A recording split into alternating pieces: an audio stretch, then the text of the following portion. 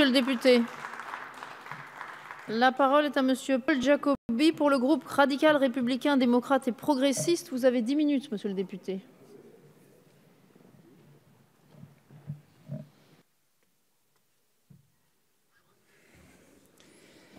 Madame la présidente, monsieur le ministre, chers collègues, je vais vous parler de la Corse, même si la proposition qui vous est présentée peut aussi s'appliquer à des situations similaires, ultramarines ou continentales, plus fréquentes et plus dommageables que l'on ne pourrait le croire. S'agissant donc de la Corse, nous abordons aujourd'hui une très vieille histoire puisqu'elle commence le 21 prairial de l'an 9, c'est-à-dire le 10 juin 1801, date à laquelle un certain André François Miot, conseiller d'État, administrateur général des départements de Corse, prend des mesures fiscales qui touchent effectivement au régime des successions en Corse. Du fait de la position exceptionnelle sur le plan administratif de cet administrateur général, les mesures qu'il a prises par délégation de l'État ont un caractère législatif. Ces mesures sur le plan fiscal se voulaient, au moment où elles ont été prises, transitoires et pragmatiques. Il s'agissait en fait d'adapter la situation, la fiscalité nationale des successions à la situation de la Corse marquée par la prédominance déjà de l'indivision patrimoniale et des successions orales. Ces mesures étaient de deux ordres d'une part, une règle particulière d'évaluation des immeubles si en Corse pour l'application des droits de mutation à titre gratuit, consistant en un forfait correspondant à 100 fois le montant de la contribution foncière revenant à l'État, au lieu de la règle qui était la valeur vénale réelle à la date de transmission. Et puis une suppression de toute sanction en cas de défaut de déclaration de succession. Mais comme il arrive souvent, la transition dure, voire s'éternise, et le raisonnable dégénère en perversion. De ce fait, en Corse, fort peu de gens ont transmis leurs biens immobiliers par voie de donation, tandis que l'intérêt s'attachant à l'absence de déclaration a favorisé le maintien de beaucoup de propriétés en indivision. Comme aucun gouvernement n'a réussi à légiférer pour remettre de l'ordre, et ce jusqu'aux années 99, la Cour de cassation a sanctionné toutes les tentatives administratives de pallier la carence législative. Les lois portant dispositions particulières pour la Corse ont, en 82 et 94, expressément maintenu en vigueur ce régime fiscal euh, spécifique. Il faut que vous compreniez bien, mes chers collègues, que ce n'est pas un avantage qui a été accordé à la Corse.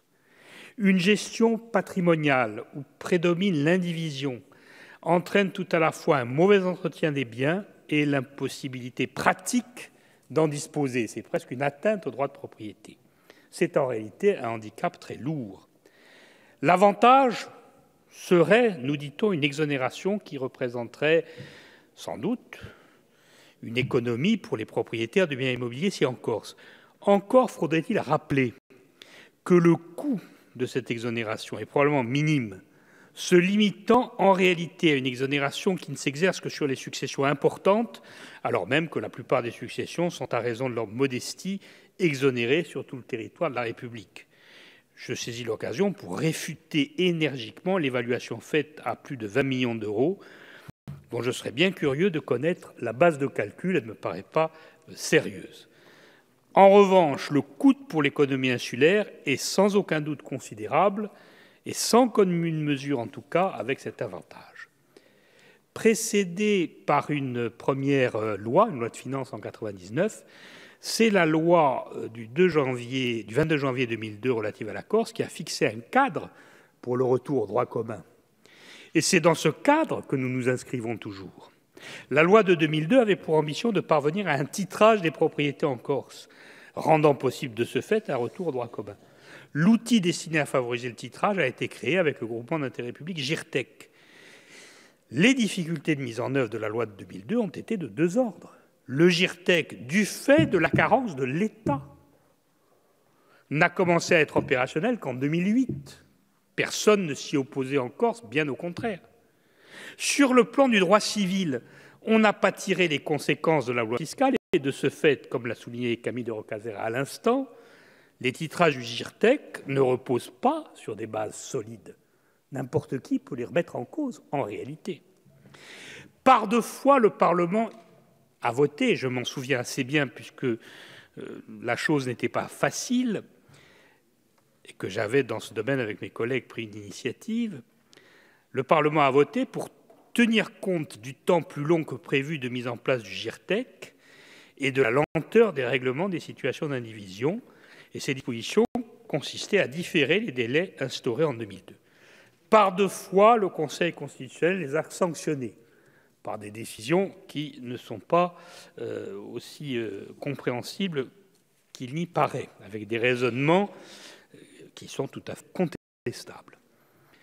Par ailleurs, chaque fois que les députés de la Corse ont tenté d'adapter le Code civil à la situation de l'île, et Camille de Rocazer peut en témoigner tout autant que moi, notamment pour faciliter le titrage des propriétés, le gouvernement s'y est opposé, avec une certaine euh, arrogance parfois, indiquant que l'on ne saurait modifier le Code civil seulement pour la Corse.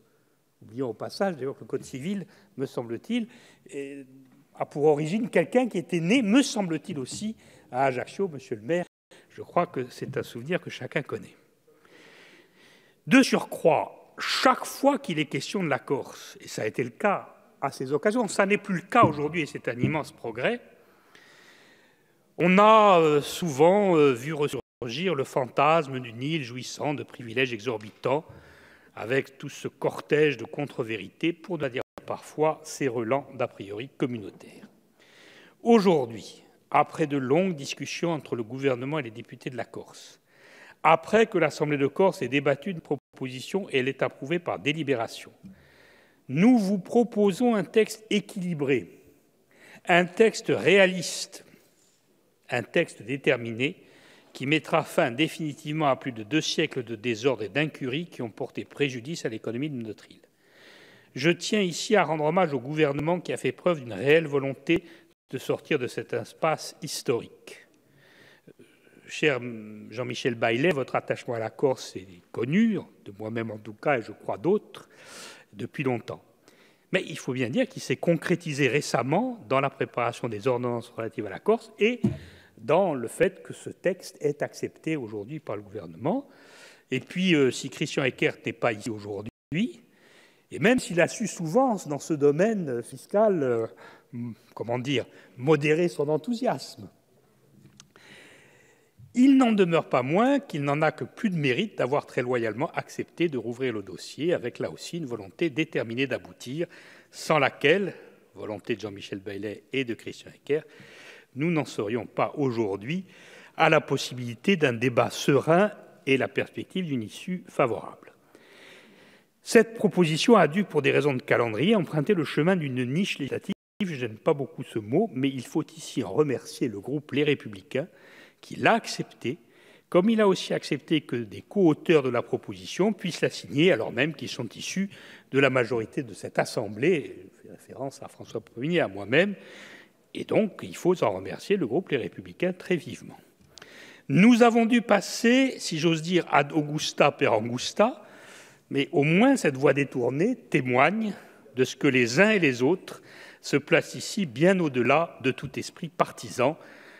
Ce texte sera maintenant débattu. Malgré l'avis unanime de la commission des lois, je sais qu'il pourrait subsister des réticences de principe qui, curieusement, au nom du principe d'égalité, voudraient rendre son application à la Corse, c'est-à-dire le retour au droit commun, douloureuse, pour ne pas dire insupportable. Notre groupe s'y opposera évidemment le cas échéant, mais je ne vois pas ici d'opposition a priori. Je sais qu'il pourrait, qu'il y aurait pu y avoir la tentation d'amendement. Et le ministre Jean-Michel Baillet a mis le doigt avec beaucoup de diplomatie sur une position qui aurait pu être euh, celle du gouvernement, notamment sur la durée de dix ans. Il l'a exprimé avec euh, beaucoup d'habileté. Mais il a conclu dans un sens favorable, ce qui peut me permettre de dire que s'il n'y a pas d'amendement, j'en suis ravi. Et je lui dis aussi que dix ans, ce n'est rien pour mettre fin à plus de deux siècles de désordre. C'est la raison pour laquelle notre groupe défendra le texte tel qu'il est issu de la commission des lois, et considérerait bien sûr que tout amendement serait une rupture de l'équilibre à ce stade. Nous avons aujourd'hui la possibilité de régler un problème pendant depuis de siècles, un problème qui a empoisonné, le mot n'est pas trop fort, ce qu'est la Corse dans son rapport avec l'ensemble français.